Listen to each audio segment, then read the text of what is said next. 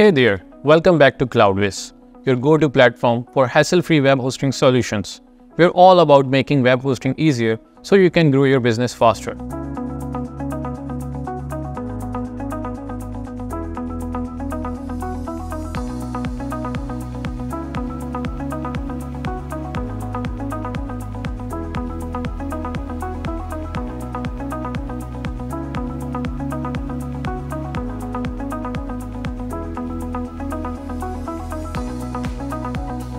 I'm Shahzeb Ahmed, Community Manager at Cloudways and in this video I will guide you through the next steps after you have migrated your WordPress website to Cloudways. Here I will show you how to point your domain and manage your SSL certificates. It sounds technical, right? But I will guide you through the processes step by step. Alright, let's start with pointing your domain. For this tutorial, we will use Namecheap as our domain registrar. Depending on your domain registrar, the process may differ slightly but the idea and steps remains the same. First, sign into your Namecheap account, navigate to the domain list from the left sidebar and click Manage against your domain name. Then go to the Advanced DNS tab. Here you will find the host record section. To point your domain to Cloudways, you will need to add a new record. Select a record for type, add for host and input your Cloudways server IP in the value field. Hit the green check mark to save.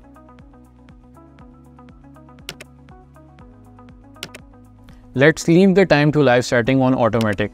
Alternatively, you could set it to 1 minute. The TTL setting determines the time it takes for changes to go in live. Next, hit the green check mark to save your changes. The A record we have just created with the add symbol as the host ensures that anyone who types in your root domain without www, https, etc., it will be served your website from your server. However, if someone does type www or another correct variation of your domain name, we need to set that up too. To set this up, add another A record. This time the host will be www, no need for a dot. And you should paste the same IP address as before. After completing these steps, we are done with Namecheap. Now your two A records are properly set up. Let's also cover subdomains and wildcard entries. To create a subdomain, the process is similar. The only difference is you use your subdomain name in the host field instead of at and your wildcard entries just input static in the host field. Map your domain and manage DNS records. Now it's time to take your site live with your domains.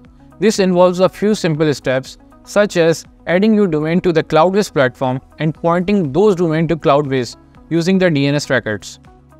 From the top menu bar, open servers. Next, choose the servers where your application is deployed. Click www. Next, choose your application.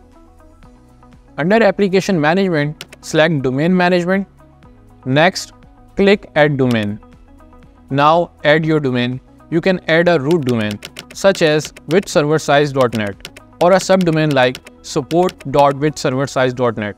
Alternatively, you can add a wildcard domain. For example, withserversize.net cover all the subdomains simultaneously instead of adding each domain individually.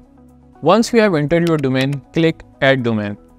Note that adding a root domain such as withserversize.net will automatically cover a domain with a www alias. Next, you need to make one of your domains a primary domain.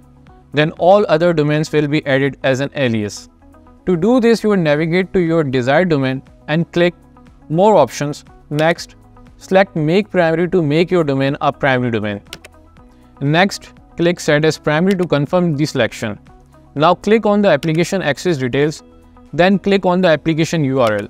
Here you can see your domain has been successfully propagated with Cloudways. Moving on to SSL certificates. Let's navigate to the SSL management section on the Cloudways platform. Here you select Let's Encrypt SSL.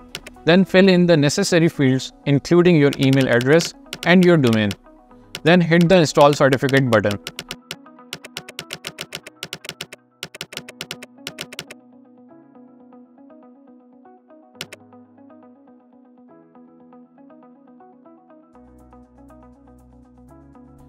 Give it a few minutes and there you have it.